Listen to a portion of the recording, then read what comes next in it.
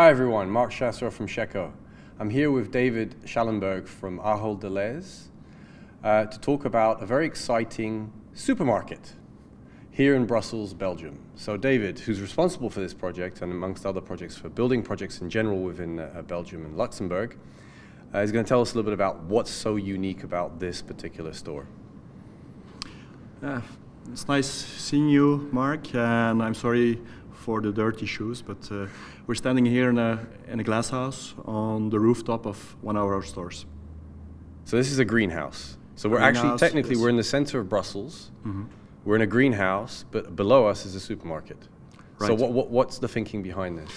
In fact, the idea was to shorten this chain, and we're cultivating today products here, as you see around, uh, in this greenhouse and also outside, which are later sold in uh, the supermarket below. Okay, so you we'll go and check those products later on after. Okay. Uh, but this is, to my knowledge, this is quite a unique uh, idea. It's the yeah, it's the first uh, greenhouse in Europe uh, yeah. on top of a supermarket. Okay. So it's quite new concept. It was. Uh, it took some time to figure it out, but with, within Delhaize, we had a whole team, mainly sustainability, okay. who looked at it. It's also a project where we looked at shortening the chain. The products that are cultivated here are uh, linked to the season, so mm-hmm. you need to take all, always that uh, in account. Yep. You cannot uh, produce. So it's really anything. thinking from a sustainability point of view. Products yes. that you can actually locally grow according yes. to the season. Grow locally yeah. and sell locally. Okay. It's also on a rooftop, it's a it's a green roof. Yeah. So it's not only a project; it's also accessible. Okay. So we don't want to make a, a closed uh, community or something that's fenced off of the neighbors. Okay. So we have neighbors looking onto the roof. Yeah, and you can see roof. behind us there. I mean, you can see that beyond the greenhouse, there's other additional vegetables that have been planted, yes. right?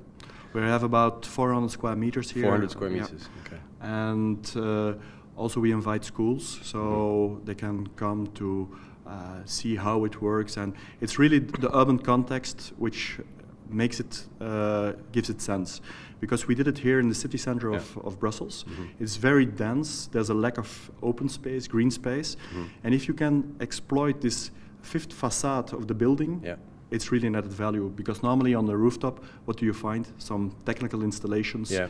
uh, air conditioning units, air conditioning units, yeah. Yeah. and this is creating added value on top of a supermarket and a space which basically wouldn't be used. Okay, and so how does this relate to natural refrigerants? What is so special about this particular urban farm? But we raised another challenge because mm. one part was the idea of putting this uh, urban farm on top of one of our stores, and mm -hmm. it was a nice idea. And then with the engineers, we said, okay, let's go one step further. Mm -hmm. And when thinking of our installations, we always have, with CO2 installations, uh, we reclaim heat. Yeah. And today we already use it to heat our stores, um, also for the production of hot water. Yep. But even then... So you went one step further? yeah, we said, okay, we still have more than we need. So putting these puzzles, these pieces, uh, jigsaw pieces together, together uh, everything fell into place, and we said, okay, why not heat the glass house with the excess heat, of one part of the excess heat, and uh, so it's a very integrated approach in this respect. Yes, it's very you're not, holistic. You're not losing the heat. No, using it to also grow plants or vegetables that you're then uh, selling downstairs. So it's, uh, Most importantly, there was another challenge also in the, product in the project. It's product-wise. Everything that's produced here is also being certified. So it's been certified organic. Yeah. We that one I have to yeah. because uh, there are certain limits to it. -huh. It's because on our on our rooftop, but um, which certification we have that's okay, okay, okay. But it's got a certain type of certification that allows you to, yeah, it's, to, to sell it. It's eatable, it's, and it can be sold. It meets the, yeah. the quality standards of uh, yeah. uh, food products. Okay. And then, so what are your plans beyond this particular urban farm? Do you see yourself applying this elsewhere in Belgium and beyond? Because as part of the Ahold Delhaize group, which is a global food retailer, um, you know, you have the opportunity to maybe grow that beyond here in Brussels. Opening this first uh, urban farm uh, raised a lot of attention also in the press, and other cities are eager to, to welcome this concept. But there are some uh, challenges also when you develop this kind of project. You need a building, also uh, construction-wise, which is able to to be designed because yeah. yeah, because this You isn't a new build. This is a remodel. It's an existing building, Yeah. and so we reinforced the actual structure to put this roof on top because it's an extra weight because you need uh, this layer of, of soil, and it's it's adding weight on the whole structure. So what we're doing today is looking one for buildings who are in the good urban context because uh, if you are in the suburbs. Uh, this is a concept which is less appealing, but in a city, urban Yeah. uh, city context, high dense density, uh, it's a good location. Secondly, uh, it's the um, the building, the construction Yeah. you want to put it on. Okay, okay.